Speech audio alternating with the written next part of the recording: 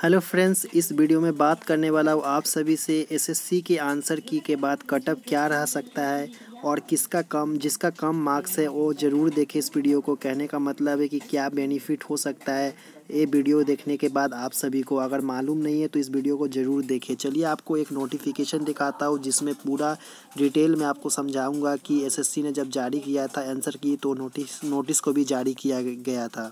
ये नोटिस देख सकते हैं स्टाफ सिलेक्शन एसएससी के तरफ़ से जारी किया गया है, जिसमें एसएससी जीडी का है यहाँ पे है कि बताया गया कि अपलोडिंग ऑफ़ टेंटेटिव आंसर की ये आंसर की टेंटेटिव है। कहने का मतलब ये फाइनल आंसर की नहीं है। Along with candidate response sheet है। कैंडिडेट का जो रिस्पॉन्स आप एग्ज़ाम दिए थे, उस टाइम का इसमें रिस्पॉन्स है कि आपने कौन सा क्वेश्चन का कौन सा आंसर दिए है और एस एस सी की तरफ़ से कौन सा आंसर यहाँ पर दिया गया वो भी आपको देखने को मिला होगा अगर आप इस आंसर की डाउनलोड कर चुके होंगे तब। नहीं किए तो एक वीडियो देख सकते हैं जिसमें मैं बताया था कि किस तरह डाउनलोड करना है आपका आंसर पी पर फ़िलहाल अभी एक वीडियो और बनाया था, जिसमें बताया था कि अभी अभी आंसर की आपके डाउनलोड नहीं हो रहा है, क्योंकि लॉगिन नहीं हो रहा है एसएससी के तरफ़ से, जिसका भी मैं वीडियो बनाया था, जिसका मैं कमेंट बॉक्स में आपको पिन कर दूँगा। वहाँ से आप जाके उस वीडियो को देख सकते हैं।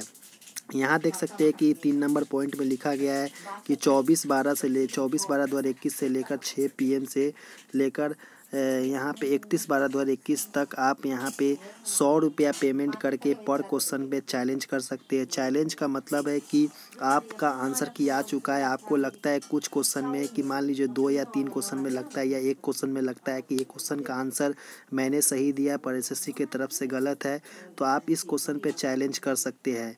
क्या आपको चैलेंज करने पर सभी को बेनिफिट मिलेगा? सभी को बेनिफिट मिलेगा या आपको ही सिर्फ़ बेनिफिट मिलेगा। मान लीजिए आप फ़र्स्ट शिफ्ट में पंद्रह तारीख को सो, मान लीजिए कि सात दिसंबर को आप फ़र्स्ट शिफ्ट में एग्ज़ाम दिए और आपने एक क्वेश्चन पे चैलेंज डाल दिया। वो क्वेश्चन सही में एसएससी के तरफ़ से गलत था। आपने सही आंसर दिया, पर एसएससी के तरफ़ से आंसर गलत था। तो आपको एक नंबर यानी एक नंबर प्लस में जो नेगेटिव कटा था, सही में से वो भी नंबर आपको मिल, देखने को मिल जाएगा। क्या आप ही को सिर्फ़ मिलेगा जो ऑब्जेक्शन करेगा, उन्हीं को मिलेगा या सभी को मिलेगा?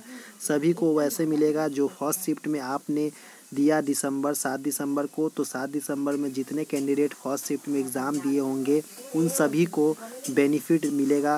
One point two five number increase कर दिए जाएँगे। जब आपका फाइनल रो मार्क्स आएगा, तब उसमें रो मार्क्स नॉर्मलाइज करने के बाद तो अलग ही मार्क्स आपको देखने को मिलेगा आने वक्त में। पर मैंने यहाँ पे थंबनेल में लिखा था कि कटअप क्या रह सकता है आंसर की करने के बाद। पर एग्जैक्ट में कोई बता नहीं सकता कि आपका कटअप क्या रह सकता है, क्योंकि अभी नॉर्मलाइजेशन तो बाकी है, अभी तो मेन खेल बाकी है क्योंकि कुछ कैंडिडेट होंगे कि नब्बे करके आए होंगे और उनका मार्क्स साठ नंबर बन रहे होंगे। और कुछ कैंडिडेट ऐसे होंगे जो साठ सत्तर करके आए होंगे और उनका काट कूट के साठ बन रहे होंगे। तो इनमें काफ़ी डिफरेंट हो गया, जिसमें नॉर्मलाइजेशन पर इफ़ेक्ट काफ़ी बड़ा पड़ने वाला है इस बार 2021 में। तो यही इन्फॉर्मेशन इन्फॉर्मेशन था आई होप कि इन्फॉर्मेशन आपको सही लगा, कम नंबर है तो घबराए नहीं, क्योंकि आपको इस बार नॉर्मलाइजेशन में काफ़ी बेनिफिट देखने को मिलेगा, जो कैंडिडेट कम से कम गलत किए होंगे, उन्हीं को देखने को मिला होगा और उनका शिफ्ट अगर हार्ड रहा होगा तो। तो चलिए नेक्स्ट वीडियो मिलते इससे पहले एक और बात, अगर आपको नॉर्मलाइजेशन किस तरह किया जाता है, पूरा डिटेल चाहिए डिटेल वीडियो तो आप कमेंट करके बता सकते हैं। चलिए नेक्स्ट वीडियो मिलते धन्यवाद देखने के लिए।